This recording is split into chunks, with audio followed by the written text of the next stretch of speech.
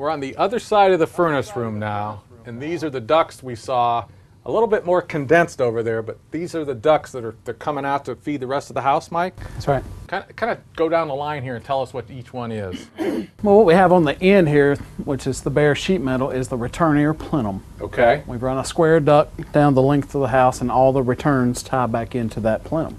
So this is the air that, that has that's been to the room and it's coming back. It's going to go to the return air That's right. plenum through the air cleaner, get conditioned again. and then reintroduce back into the house. Okay. And it's just a continual process. All right. Uh, the next ducts you see with the duct wrap on them are supply ducts. These are supplying the cold air right now, or the warm air in the wintertime. Uh, and each one of these trunk lines serves a different zone. So there's a zone damper on each one of these, Okay. and each one of these are serving a different area of the house, whether it be the sunroom, the master suite, or the main floor of the house. And this this room right here is on a zone. Or the- Correct. The, whole basement is on a zone, mm-hmm.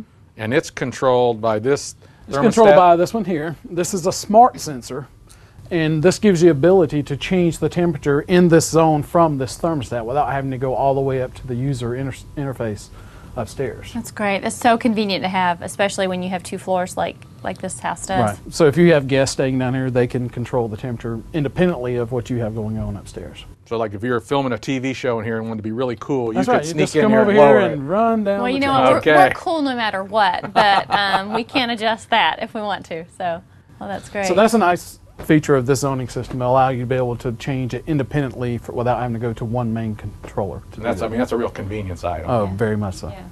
All right, when we first uh, started talking today in our first segment, we were talking about m- actually part of your process and figuring out and engineering this system was measuring the airflow. Right. And you have an instrument right here, and, and kind of show us how that works, Mike. Well, this is a um, it's an airflow measuring station. Basically, it's a flow hood's what we call it. It's like a me- hood. megaphone to me, but, But it um, it has pitot tubes inside of it, and we can hold it up to the supply or return. You know, we could hold it up to this return. It's in this wall, Okay.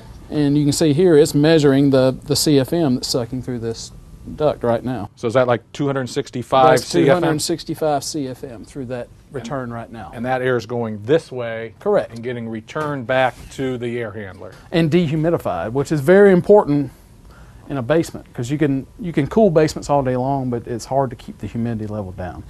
So with the variable speed and the humidity sensing equipment we have, we can actually come in and dehumidify without a call for cooling. So if you're getting a new system and, and somebody and you- and you're going out to somebody's house and measuring and doing the engineering, if somebody shows up without one of these devices, probably not really fine tuned. Well, they're probably taking a guess at it, Yeah. um, but we, you know, at Gaines Mechanical, we're offering on this system here is a lifetime parts and labor warranty. I'm not going to leave anything to chance. Right. It's going to be right, so we know it's going to work, and we're not going to have issues with it. So we prepare, we prefer to do it this way, and that way we don't make any mistakes. so you do it right the first time. It's the only way to do it. That's right. You convinced me. Let's go upstairs and we're going to look at the uh, master control unit. what is it, Mike? User interface. User interface. All right, Mike, we're in the master bedroom now. Command Central. And this is the user interface. That's right. Got it. All right. Well, tell us about the user interface. It's a fancy word for the main thermostat.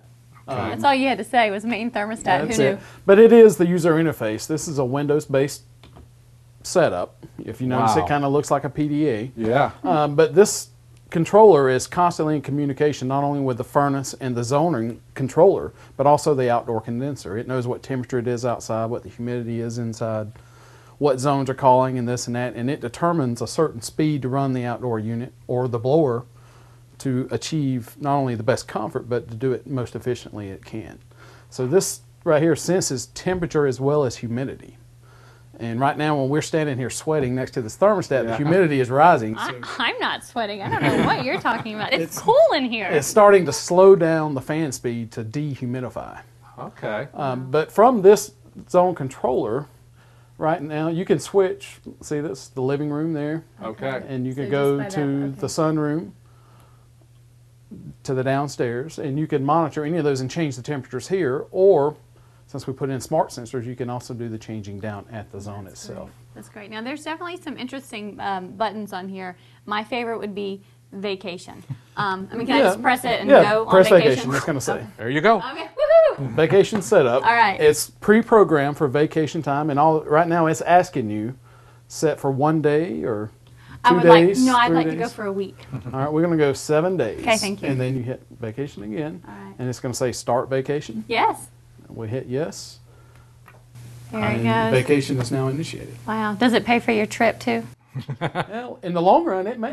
Yeah. Very well Great said. one, Mike. Very well said. So Okay, if we want to is- cancel vacation, we're going to hit it and cancel vacation. Okay. So let's say you're on this vacation. Can you log in on, a, on your computer and your laptop and check things out? Yeah, on this system is is capable. Uh, we have what we have a remote access kit that you buy with this that attaches to the equipment that allows you either hardwired or Wi-Fi to uh, you can pull it up on the computer. You can call it up on the cell phone. If you have a trouble with it, it'll shoot you an email. It'll shoot me an email at Gainesville Mechanical and say, "We need service." Um, we put a lot of these in second homes up in Highlands, Cashiers up there, people that live in Florida.